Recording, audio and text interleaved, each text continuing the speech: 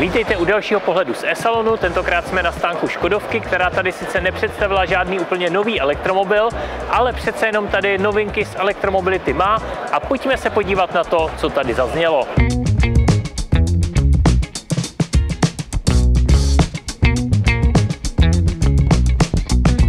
Českou výstavní premiéru si tady odbyly dva plug-in hybridy, které byly představené v řádu několika týdnů naspět. První byl Kodiaq IV, který byl představený zhruba před měsícem a Superb eh, IV byl představený dokonce asi před týdnem, takže to jsou novinky, které tady mají českou výstavní premiéru. Eh, my se plug-in hybridy nezabýváme tak úplně dopodrobná, nicméně určitě rádi otestujeme. Budu rád, když mi napíšete, jak se vám nový Superb a nový Kodiaq líbí. Teďka představím hlavně technické parametry těch vozů zejména pokud je o plug-in hybridní pohon, protože tam došlo k obrovskému posunu dopředu. Vůz má stejnou hybridní techniku, jako byla u předchozí generace Superbu, což znamená, že tam je přeplňovaná 15 stovka o výkonu 110 kW, systémový výkon je 204 koní, což znamená 150 kW, takže to jsou parametry, které zůstaly stejné, ale e, zásadní změnou prošla baterie, která dostala nyní kapacitu 25,7 kWh. U obou těchto modelů je udávaný dojezd přes 100 km, nicméně ne, není tady uvedený přesně, ale 100 km je opravdu dlouhý dojezd. A zároveň další změna, která přišla, je rychlo nabíjení. Oba vozy dostaly rychlo nabíjení s konektorem CCS, které stejnosměrným proudem dokáže auto nabíjet až 25 kW, což znamená, že eh, tu baterii zároveň dokážete poměrně rychle nabít. Takže to jsou zcela zásadní změny u uh, plug-in hybridu Superb, který vlastně přišel v nové generaci s novou technikou a Kodiaq dostal plug-in hybridní techniku poprvé. Takže je vidět, že Škodovka, i když tady nepředstavila elektromobil, tak i stávající spalovací modely, respektive jejich hybridní verze, posouvá blíže k elektromobilitě a zvýšenou kapacitou baterie a přidáním rychlo nabíjení se to opravdu posunulo hodně dopředu, protože tím pádem mnohem větší eh, část svých cest můžete ujet čistě na elektřinu. Takže tolik tedy k eh, nově představeným eh, vozům, které tady mají výstavní premiéru.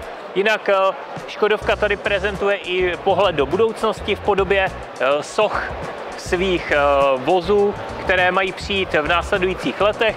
Konkrétně Škoda Elrock, který je větší z těchto dvou modelů a jako první přijde na trh, konkrétně v roce 2024, tedy v příštím roce a bude to eh, levnější a menší alternativa k eh, Eniaku, takže to je vůz, kterého se dočkáme už poměrně brzo a druhý, který tam je, tak eh, to je malý elektromobil, který zatím nemá jméno a ten by měl přijít se zajímavou cenovkou a měřit ještě o třídu níže. Takže to je takový výhled do budoucnosti značky Škoda.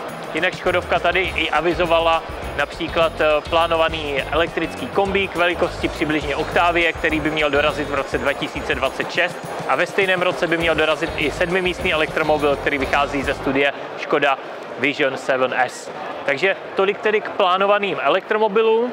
Kromě toho tady Škodovka ukazuje Enyaq, Coupé, Laurin Clement, ale ten už jsme měli možnost eh, si prohlédnout na eh, legendách, takže hm, si můžete podívat na video samostatně z pohledu na tenhle vůz. A můžu prozradit, že brzo budeme mít eh, první jízdy s tímhle vozem, takže vám přineseme i první jízdní dojmy. Jednou z věcí, kterou Škodovka prezentovala, bylo právě kromě nových modelů i e, její snaha rozšiřovat síť nabíjecích stanic a celkově posouvat e, elektromobilitu v České republice, protože Česká republika v tuhle chvíli je ze zemí Evropské unie v podstatě na posledních dvou místech se Slovenskem se tak nějak střídá, co se týče podílu prodávaných elektromobilů a Škodovka se tohle snaží měnit a to nejenom tím, že přináší na trh nové modely a snaží se eh, podporovat elektromobilitu v Česku samotnými produkty, ale zároveň rozvíjí partnerství s různými poskytovateli nabíjecích služeb, eh, nabíjecích stanic a snaží se zjednodušovat používání nabíjecích stanic.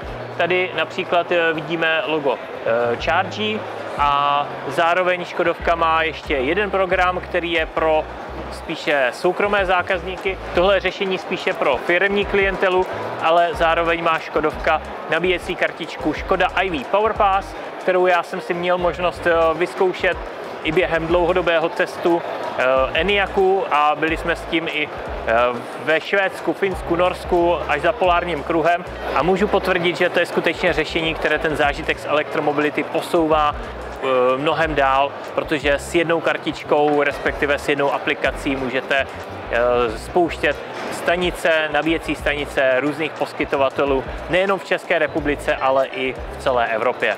Jelikož vozy Superb i Kodiaq byly vyhlášené svým vnitřním prostorem, tak si přece jenom neodpustím eh, jednu, jednu zkoušku a sice eh, zkoušku vnitřního prostoru se svými 192 cm, ale ještě zmíním jednu věc. Tady přibyly otočné ovladače klimatizace a to je něco, co rozhodně chválím, protože když je to ovládání na displeji, tak to rozhodně není tak bezpečné, protože řidič na to musí koukat, zatímco tady i když kouká na cestu před sebe, tak tohle dokáže ovládat, aniž by se díval sem, takže eh, rozhodně tohle podle mě není krok zpátky a zkrátka ne všechny moderní technologie jsou vhodné k použití a tohle je ten případ, takže chválím, že se tady Škodovka vrátila k analogovým ovladačům. A já si teďka jdu sednout za sebe a už jak si sem sedám, tak vidím, že tady je spousta místa. Tady mám opravdu královský prostor, ze všech aut, ve kterých jsem dneska tady seděl, tak tady je bezkonkurenčně největší prostor. Tady mám určitě minimálně 15 cm před eh, koleny, možná mezi 10 a 15 cm, ale opravdu spousta místa před koleny, zároveň ta podlaha tady je nízká, takže si můžu celé, eh, celá chodidla posunout pod sedačku před sebe, takže prostoru tady je spousta a stejně tak, když se opřu, tak tady mám nad hlavou nechci říkat nadbytek místa, ale mám tady dostatek místa, takže v tomhle směru rozhodně super chválím a i nová generace je povedená. Prostor uvnitř a vzadu si vyzkouším i u Kodiaka, ale tady ukážu ještě jednu věc, kterou si Kodiak zachoval a to je ochrana výjížděcí lišta na dveře, abyste neodřeli auto, které stojí vedle vás a neodřeli si hranu dveří o auto vedle vás, případně o nějakou zeď a podobně. Takže chválím, že tenhle chytrý prvek tady zůstal a když si sednu sem, tak ten interiér tady vypadá podobně, i když je takový mohutnější, což se samozřejmě u SUVčka čeká. Chválím, že i tady to je stejné jako v Superbu, analogové ovladače podle mě mnohem bezpečnější a teďka si jdu sednout dozadu a vyzkoušet, kolik místa zbylo tam. Tak v tuhle chvíli si sedám dozadu a je to tady podobné jako v tom Superbu. To místo pod přední sedačku je ještě větší, protože to je vyšší auto, takže ta sedačka je posunutá výš, ale v podstatě ani není tak potřeba, potřeba tak velké. Místa před koleny je tady přibližně stejně, opět se mi tady vejde ruka a ještě nějaký ten centimetr dva tady zbývá, takže opravdu královský prostor. A tady, tady můžu říct, že je i dostatek místa nad hlavou, takže podle mě super a Kodiak opět je opravdu velmi prostorné auto. A zajímavým exponátem je tady i žákovská studie Škoda Rodiak, která vychází z Eniaku a jde o obytnou verzi Eniaku. Takže pojďme se podívat na to. Zatím se neplánuje výroba e, podobného typu auta, ale je to taková zajímavá ukázka, co se třeba dá udělat z Eniaku. Pokud je o interiér, tak e, není ho potřeba ho nějak představovat. Vidíme, že ten interiér je shodný s eh, klasickým Eniakem, pokud tedy jde o přední část a přední dvě sedačky. Jsou tady akorát jiné barvy v interiéru použité, které tak nějak eh, odkazují na přírodu a celkově na zaměření tohohle auta. Takže to asi není potřeba nějak eh, blíže představovat a ukazovat, ale máme tady takovou nadstavbu, která zvyšuje výšku toho vozu a tím pádem zvyšuje i prostor uvnitř vozu Vidíme tady větrací střešní okno, jaká se používají u karavanů a obytných vozů.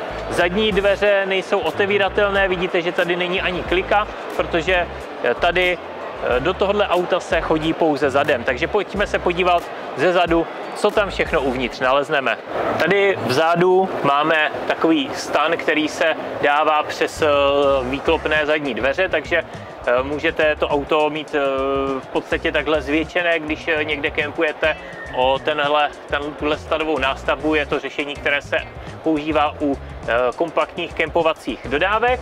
A když se podíváme tady do interiéru, tak je to v podstatě zařízené jako obytňák a zároveň jako taková mobilní pracovna, protože tady je jedno lůžko. Je to tedy takové auto pro cestovatele samotáře, tím, že je to jenom jednomístné nebo respektive s jedním lůžkem, ale e, může to být pro někoho, kdo pracuje v terénu, kdo chce třeba pracovat v přírodě, tak vidíte, že tady je taková mobilní kancelář, jsou tady skříňky a zároveň je tady výbava, která se dá dát takhle, takhle ven, takže když se někde zastaví, otevře se tenhle prostor, tak eh, tady jsou přihrádky, je tady chladnička a další věci, které se takhle dají použít a můžete mít v podstatě pojízdnou kancelář, kterou budete mít v přírodě, takže můžete pracovat a být přitom blíže k přírodě. Pojďme se podívat z boku. Tady ty dveře jsou otevíratelné, takže to je další směr, kudy se dá do auta nastupovat. A vidíme, že tady je e, dvojitá podlaha, pod kterou se také dá něco zasunout a využít e, prostor uvnitř. A zároveň z tohoto pohledu vidíme, že i pod e, tím lůžkem, které tam je, jsou šuflíky, ve kterých jsou také nějaké odkládací prostory. Takže to je takový rychlý pohled na Škodu Rodiak, tedy elektrický obytňák udělaný z Eniaku. Jak už jsem říkal, je to spíše pro samotáře, cestovatele, tím, že je to pouze s jedním lůžkem, ale eh, kdyby tam nebyl ten eh, pracovní stůl, dá se říct, ta pracovna, tak si dokážu představit udělat z Eniaku i dvoumístné obytné auto a myslím si, že by to mohla být zajímavá varianta Eniaku. Posuďte sami, do komentářů můžete napsat, jak se vám tohle auto líbí. A tohle je asi v tuhle chvíli všechno ze stánku Škody na e-salonu. A já se s vámi tedy loučím a přeji vám hezký zbytek dne. Mějte se hezky a elektromobilitě zdar.